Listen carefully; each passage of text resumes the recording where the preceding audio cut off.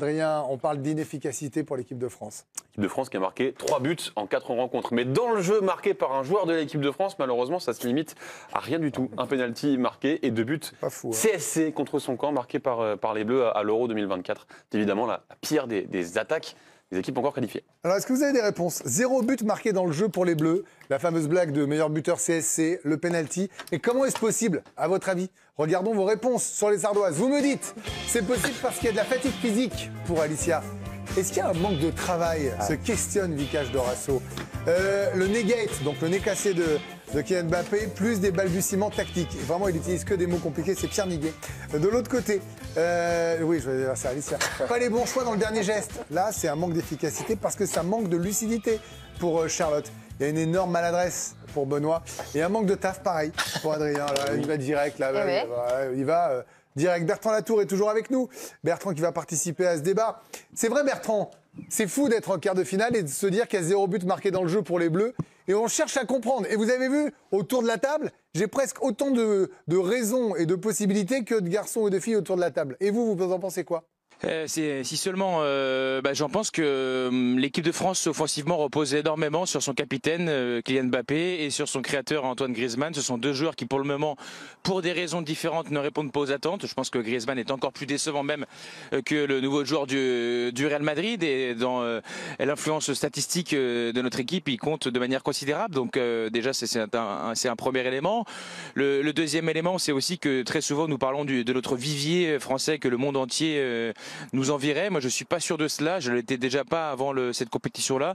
Moi, je pense pas que, quand bien même il, a été très bon euh, lors de son entrée, enfin décisif lors de son entrée, euh, Colomani fasse partie des meilleurs attaquants du monde. Euh, Je pense pas que Marcus Thuram fasse partie des meilleurs attaquants du monde. Et on reproche à Ousmane Dembélé très souvent son efficacité. Et là, c'est vrai que encore une, encore une fois sur cette compétition, il n'a pas réussi à être décisif. Donc, c'est voilà, pour moi, ce sont ces éléments-là qui participent à ce que nous n'ayons toujours pas débloqué notre compteur. Et avec ça, vous ajoutez un peu de confiance qui baisse forcément euh, par rapport à bah, ces statistiques qui reviennent à chaque fois. Et vous avez euh, bah, une bouillie offensive. Oui, offensive. Euh, Charlotte, vous, me dites qu'ils ne font pas le geste juste.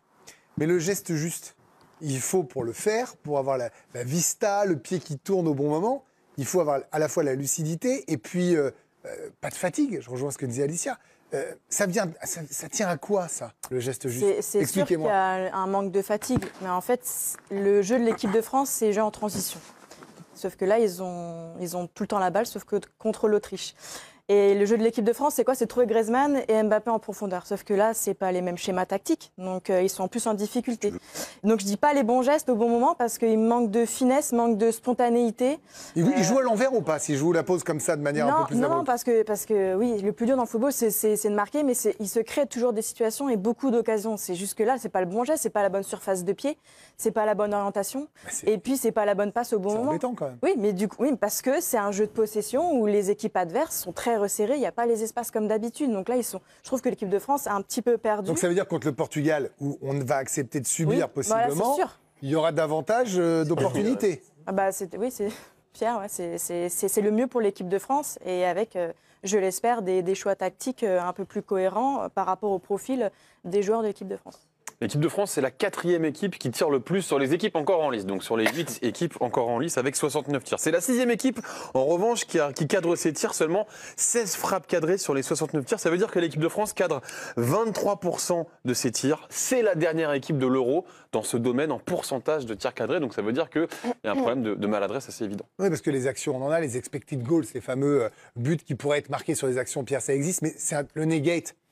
Euh, Guy Stéphane disait on sous-estime trop euh, le nez cassé de, de Mbappé. Est-ce que finalement on est, on est trop dur par rapport à ça? Non, mais je réfléchissais à la question dans l'après-midi. En fait, euh, je trouve qu'il y, a- quoi il y a un argument. euh, J'essaye de le faire. J'ai eu du temps dans le métro parce que j'habite loin.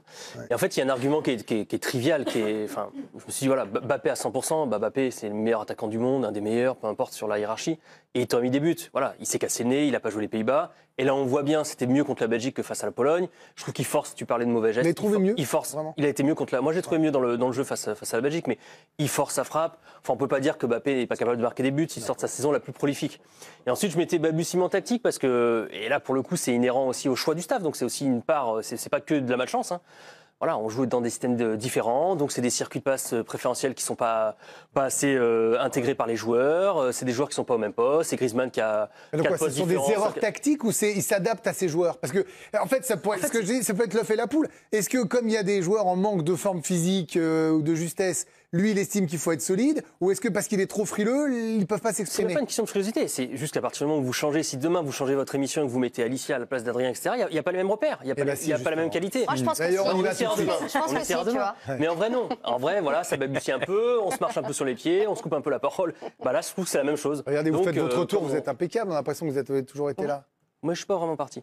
Mais, euh, mais voilà, je trouve qu'il y a un peu de ça. Voilà, il y a un peu de, de- de changement de système sur les trois matchs qui fait qu'il y a un manque de repères. On a parlé d'Mbappé, on a parlé de, de Griezmann. Ce sont des joueurs, en revanche, qui arrivent à tirer depuis le début de, de cet euro. Si on regarde encore une fois les stats, le problème, c'est les buts. Mais si on regarde les stats, Mbappé, c'est le deuxième joueur de l'euro qui frappe le plus au but avec euh, 15 tirs. Griezmann, c'est le neuvième joueur de l'euro à frapper le plus. C'est même le huitième joueur à cadrer le plus. Thuram, en revanche, on voit qu'il y a un vrai souci devant le but. C'est le neuvième joueur à frapper le plus, mais seulement le 39e joueur à cadrer le plus. Puis il y a l'aspect psychologique aussi qui joue important. Il s'agit avant tout pour les, joueurs offensifs de, reprendre confiance. C'est Kylian Mbappé qui disait avant le match face aux Belges, faut pas que ça rentre dans la tête des gars parce que ça peut vous manger le, cerveau aussi petit à petit de, ne pas marquer, de, rater euh, à chaque fois le dernier geste. Ça rejoint euh, l'hypothèse de, Charlotte qu'il avait écrit sur son ardoise. Djibril Cissé, ancien grand attaquant qui était avec nous en plateau hier, il dit c'est simple. Euh, Lui aussi, il a connu des périodes de disette. Il faut revenir au classique à l'entraînement, passe, contrôle, frappe et surtout marquer, marquer, marquer, retrouver les, les sensations puis proposer une solution. Djibril, avoir une personne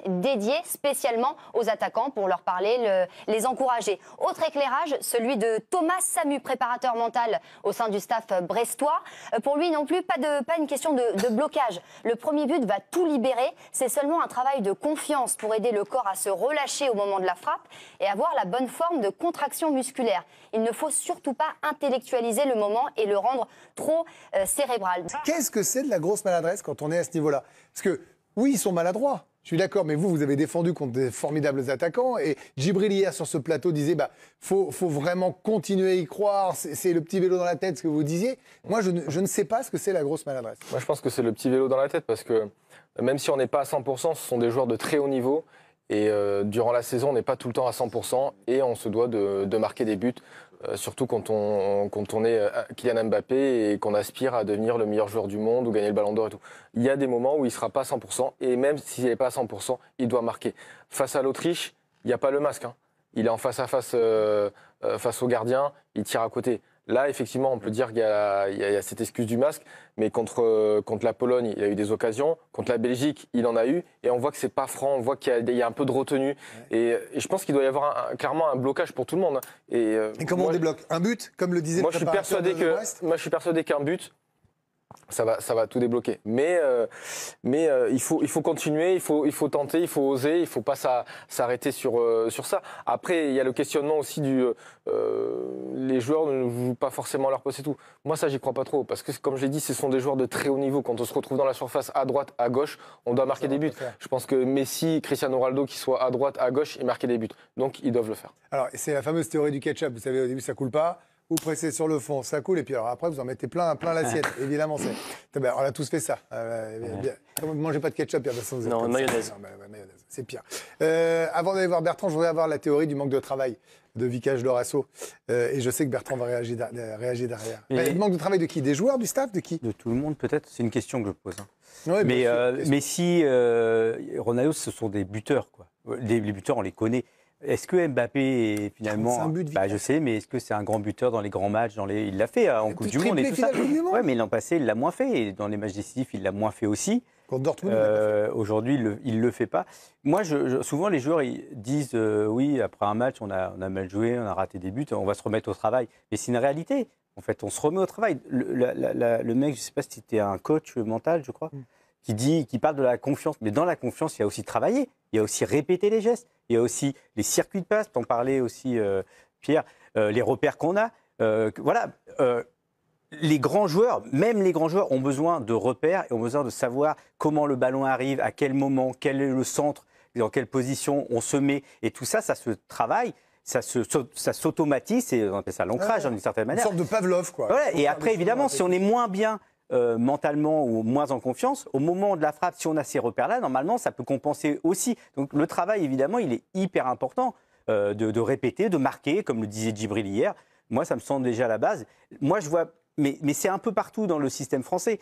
Euh, tout est basé sur cette mentalité, sur ce côté très solidaire qui fait qu'on gagne. Mais dans les circuits de passe, on ne voit pas grand-chose. Dans les autres équipes, l'Espagne, le Portugal hier, l'Allemagne, on voit quelque chose. On voit du travail, on voit des, des passes qui, sont, euh, euh, qui veulent casser des lignes, on voit des systèmes, on voit des Là, déplacements. c'est une pierre dans le jardin de Deschamps et de son staff. Ah, mais depuis toujours, mais il, il s'en cache pas. Il, s- il s'en moque un peu, puis il gagne euh, parce qu'aussi l'équipe est très forte, parce qu'il y a des grands joueurs, parce qu'il y a une forte mentalité. Il a un peu de chance aussi, évidemment. Mais euh, il, il base là-dessus, et puis, puis pourquoi pas. hein. Euh, Bertrand, vous, vous avez entendu euh, les, les théories euh, autour de la table, les débuts Oui. d'explication. Évidemment, propre à chacun, parce qu'on n'est pas au cœur même du système. Nous, on ne peut pas À savoir. la on fin, n'est ça pas- se termine par il y a un peu de chance, c'est un peu court quand même. Non, mais il y a eu d'autres choses avant. Euh, euh, Partez pas que sur- il y a un peu de chance, il y en a toujours un petit peu.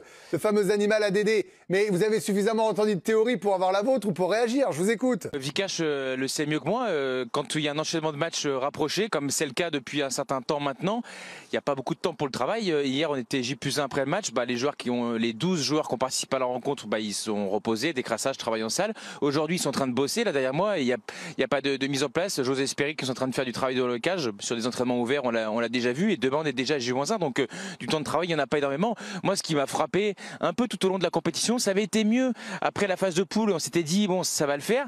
C'est qu'il y a beaucoup de déchets. Même quand il n'y a pas d'adversaire, ils le font ce travail-là. Avec euh, décalage sur un, côté, centre. Et ensuite, en une ou deux touches, il faut reprendre avec un gardien, que ce soit Areola ou Samba dans les cages en l'occurrence. Et, c'est très souvent pas cadré, même de la part des, attaquants. Et on l'a parfois relevé même hein, dans, les, dans les émissions. Le staff trouvait qu'on était un peu sévère de, relever ça, mais c'était- la, la réalité.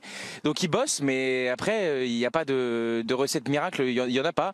Moi, j'en reviens aussi un peu à la qualité des, joueurs. Je trouve que c'est pas beaucoup évoqué.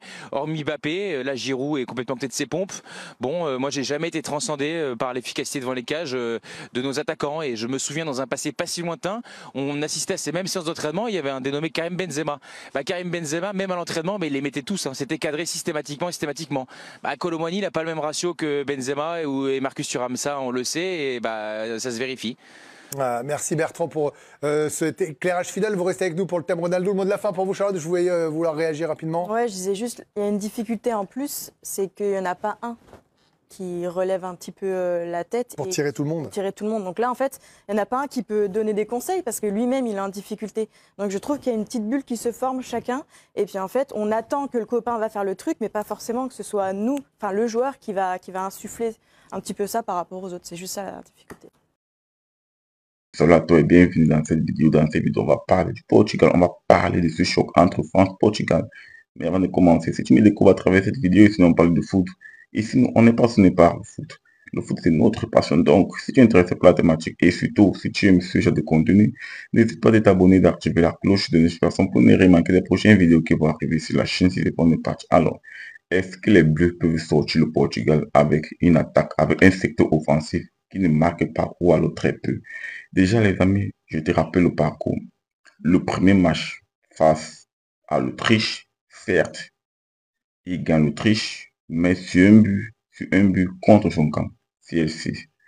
Deuxième match, c'est contre les Pays-Bas. Et là, ils font 0-0, ils ne marquent pas. Troisième match, c'est contre la Pologne. Ils font un but partout, un penalty transformé par Kylian Mbappé. Le match contre la Belgique en huitième de finale, les Bleus gagnent 1-0, mais là encore un but contre son camp. D'où est-ce qu'ils peuvent continuer dans cette lancée contre le Portugal, puisque le Portugal, c'est un autre calibre. Le Portugal, c'est clairement un autre calibre. Ça n'a rien à voir avec la Belgique. Lorsque tu regardes l'effectif du Portugal, c'est un effectif de grande qualité dans toutes les lignes. Même Pep, qui prétend être le point faible du Portugal, Pepe, je parle, l'ancien défenseur du Real Madrid, il a 40 ans presque. Même lui, qui semble être une faille, dernièrement face, euh, face à la Slovénie, je sais plus trop, il a fait un match vraiment monstrueux. Il a fait un match monstrueux, Pep. Donc, même lui, que tout le monde pense que c'est le point faible du Portugal, il est bon. Du coup, ce Portugal-là, défensivement, c'est costaud. Offensivement, ils ont des joueurs qui peuvent faire la différence. Tu as Rafael Leao, tu as CR7 qui refuse de vieillir, tu as Bernardo Silva, au milieu, tu as Bruno Fernandes. Il y a de la qualité sur toutes les lignes. Et moi, je me dis, si le Portugal marque deux buts à l'équipe de France, sachant que les buts ne marquent pas, est-ce que ça ne va pas être insuffisant? Est-ce que ça ne va pas éliminer les buts? Est-ce que ça ne va pas éliminer les buts, les amis? Puisque l'équipe de France ne marque pas. Si une équipe leur met deux buts, pour moi, c'est game over. Pour moi, c'est clairement game over. Et c'est là où je fais appel à Kylian Mbappé. Kylian Mbappé doit être performant, les gars. Kylian doit être performant. C'est inadmissible qu'en phase de poule, tu passes à côté. En cas de finale, tu vas aussi passer à côté.